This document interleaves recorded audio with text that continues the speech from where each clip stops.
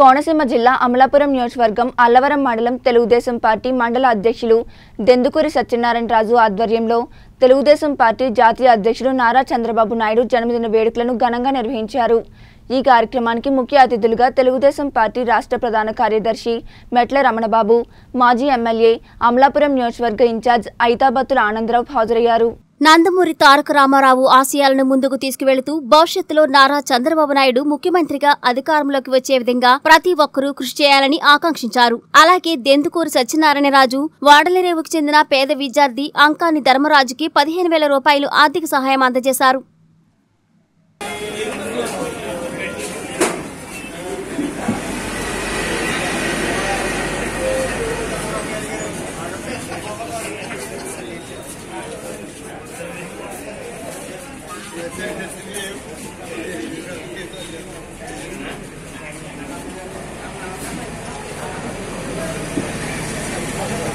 చంద్రబాబు నాయుడు గారి నాయకత్వం చంద్రబాబు నాయుడు గారి నాయకత్వం చంద్రబాబు నాయుడు గారి నాయకత్వం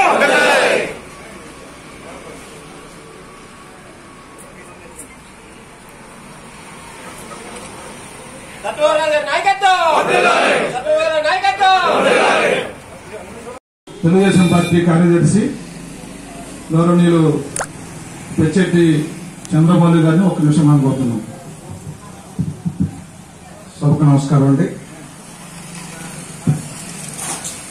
సభాధ్యక్షులు మిత్రులు గౌరవనీయులు మరి సత్యబాబు గారికి అలాగే సమావేశానికి ముఖ్యార్థులు హాజరైనటువంటి మిత్రులు గౌరవనీయులు మిత్రులు మాజీ శాసకులు ఆనందరావు గారు అలాగే మిత్రులు రామబాబు గారు విజయలక్ష్మి గారు వెంకటరాజు గారు కృష్ణ గారు శ్రీని గారు డిసిసి అధ్యక్షుడు శ్రీని గారు.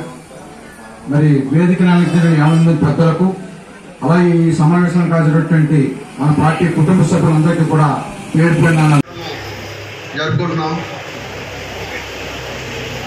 ముఖ్యంగా ఏంటంటే ఏ వ్యవస్థ గ్రామంలో తీసుకుంటేనే ఏ వ్యవస్థ పనిచేయట్లేదు అన్ని వ్యవస్థల్ని నిర్వహణ చేశారు. ఒక సాఫ్ట్వేర్ కంపెనీలో వైరస్ చొరబడితే ఏ కార్యక్రమాలు జరపడం? బ్యాంకులో కార్యక్రమాల్లో ఆ సాఫ్ట్వేర్లో వైరస్ చొరబడితే ఆ బ్యాంక్ కార్యక్రమాలు జరగవు. ఈ రోజున రాష్ట్రం పరిస్థితి కూడా అదే ఉంది. కాపీ మేస్తే కాపీ పని చేసుకోవట్లేదు. చిల్లర కొట్టు వాడు చిల్లర కొట్టు వ్యాపారం చేసుకోలేకపోతున్నాడు. ఆటో వాడు ఆటో నడుపుకోలేకపోతున్నాడు ఎవరు మటుకి? ఎవరు? పోలీసులు ఉన్నారు. అన్యాయం జరిగితే జరిగితే అతను కంప్లైంట్ తీసుకుని కేసు బుక్ చేసుకోవడానికి అతని వ్యవస్థ కూడా పోయింది. అన్ని వ్యవస్థల్ని నిర్వీ నిర్వీర్యం చేసి దుర్మార్గపు పరిపాలన చేస్తున్న ఈ జగన్.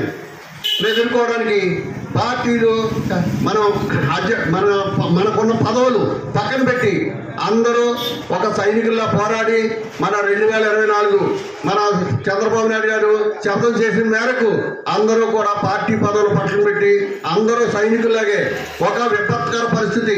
రాష్ట్రంలో ఒక తుఫాను వచ్చినా యుద్ధం వచ్చినా మనం ఏం చేస్తాం?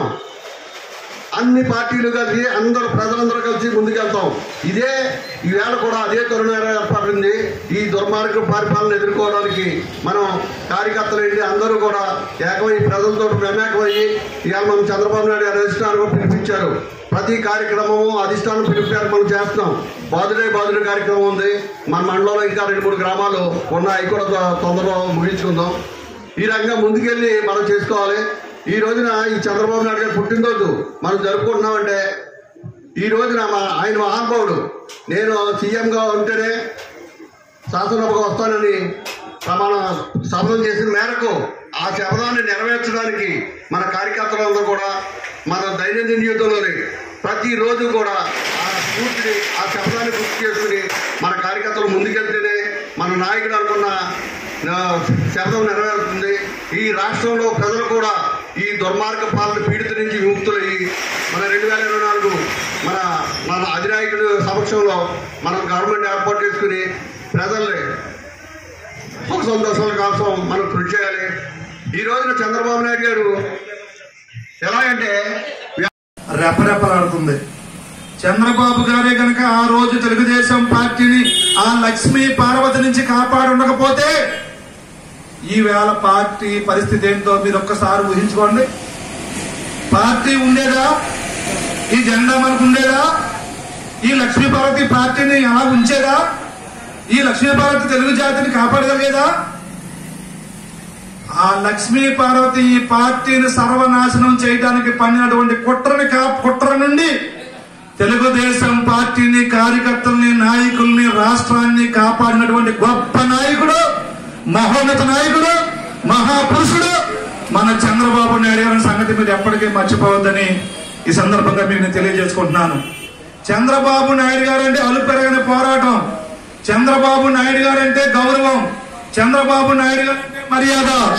చంద్రబాబు నాయుడు గారు అంటే అసలు సిసలైన అభివృద్ధి. చంద్రబాబు నాయుడు గారంటే సంపద సృష్టి. సంపదను సృష్టించే ఏకైక నాయకుడు ఈ భారతదేశంలో ఎవరైనా ఉన్నారంటే అది మొట్టమొదటి పేరు నారా చంద్రబాబు నాయుడు గారని మీ అందరూ కూడా గుర్తు చేసుకోండి రోజు. డెబ్బై రెండు సంవత్సరాల వయసు ఇప్పుడు ఆయనకి. డెబ్బై రెండు సంవత్సరాల వయసులో తెలుగు జాతిని ఈ జగన్మోహన్ రెడ్డిని కాపాడటం కోసం రోజుకి పద్దెనిమిది గంటలు పనిచేస్తున్న గొప్ప నాయకుడు చంద్రబాబు నాయుడు గారు. అందుకే చంద్రబాబు నాయుడు గారు పుట్టిన రోజుని ఈ రోజు మనం ఘనంగా జరుపుకొని ఈ మీటింగ్ అయిపోయిన తర్వాత మీ అందరూ ఇంటికి వెళ్ళిన తర్వాత మీ ఊర్లో ఉన్న గుళ్ళోకి వెళ్ళండి. గుళ్ళోకి వెళ్ళి మోకరించండి. మోకరించి ఆయా దేవుళ్ళని కోరండి. ఇలాంటి గొప్ప నాయకుడికి వందేళ్ళ ద్వారా ఇవి డెబ్బై రెండు డెబ్బై రెండు కాదు. ఇలాంటి గొప్ప నాయకుడి రాష్ట్రానికి అవసరం. ఇలాంటి గొప్ప నాయకుడికి దేవుళ్ళారా. వంద సంవత్సరాల వరకు మీరు ఈ రాష్ట్రాన్ని చంద్రబాబు నాయుడు గారు ఒక జపాన్ మాదిరిగా ఒక సింగపూర్ మాదిరిగా ఒక అమెరికా మాదిరిగా ఈ రాష్ట్రాన్ని అభివృద్ధి చేయాలంటే చంద్రబాబు నాయుడు గారికి మరింత శక్తిని మరింత ఆరోగ్యాన్ని మరింత అభివృద్ధిని చేసేయడానికి శక్తిని మరి మీ మీ ఊర్లో ఉన్న దేవుళ్ళని కోరండి. ఎందుకంటే చంద్రబాబు గారు లేకపోతే ఈ రోజు మనం తెలుగు జాతి వారి అభివృద్ధి లేదు. చంద్రబాబు గారు లేకపోతే డోక్రా ఉందా? డోక్రా లేదు. చంద్రబాబు గారు లేకపోతే జన్మభూమి ఉందా?